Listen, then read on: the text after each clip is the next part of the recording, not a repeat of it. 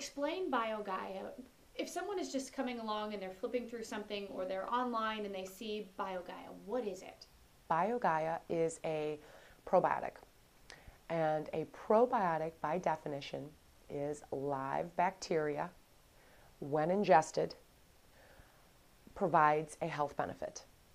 So that is what a probiotic is by definition. Mm-hmm. Definition. Now, lots of products on the market in the marketplace claim to be probiotics, but really and truly, they might just be bacteria, but they haven't been proven in clinical trials to provide a health benefit. So, BioGaia is a live bacteria, Lactobacillus reuteri, that when you take provides a health benefit. And it's been studied in numerous clinical trials since the eight, going back to the 80s actually. And um, it's been studied for its effects on promoting good gastrointestinal function and gut health, which is your gastrointestinal tract, and to promote immune health, provide um, a healthy functioning immune system.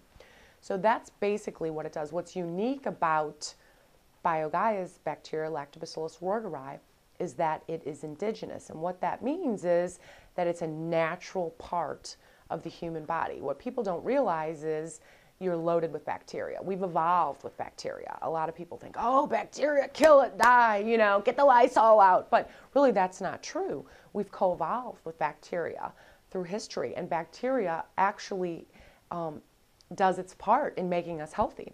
So when you are born, you're born sterile. And as you pass through the vaginal canal, that is your first colonization. All that stuff is loaded with bacteria and it colonizes your baby. Then you breastfeed, and breastfeed provides the baby with bacteria, not only from the bacteria that's on your skin, but the actual milk itself contains bacteria. Well, that's where Lactobacillus reuteri was isolated from the breast milk of a woman in the Andes Mountains. So they took a sample of her breast milk and they isolated reuteri from that. And then what they do is they put it in a vat, and every time they go to make the product, they grow it, ferment it. So every time you're taking it, it's not, you know, bacteria from breast milk, but breast milk provides this bacteria. Um, you know how you have the urge to kiss your baby, you want to kiss them and lick them, and again, that is providing bacteria to your baby. So that bacteria is what develops and stimulates their immune system over the first two years of life.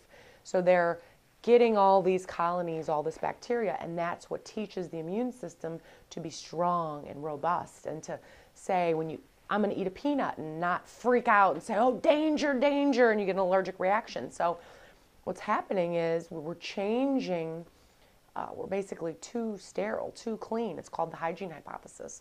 And we're just, we're too clean, we're too sterile. And our children are not getting this diverse populations of bacteria um, in the first two years of life. And it's altering um, the way their immune system responds to things. So they're heightened, they're sensitized, they're allergic to peanuts, they're allergic to dust mites, they're allergic to this, they can't go out in the sun, they, you know, and this is a progressive course of very bad things. You know, they've, they've attributing it now to, you know, autoimmune disease and diabetes and obesity and at later in life, irritable bowel syndrome and all these things. So it's very important for a young child to get exposed to all these different bacteria.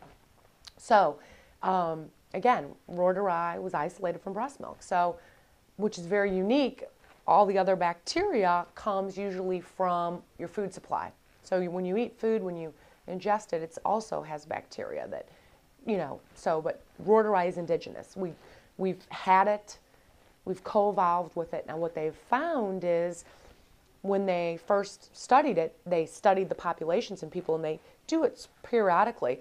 For whatever reason, our populations are going down, down, down, down, down, down again we're just too clean. We're too sterile. We're we're messing up our microbial populations and it's causing health consequences. So so that's what's unique about reuteri.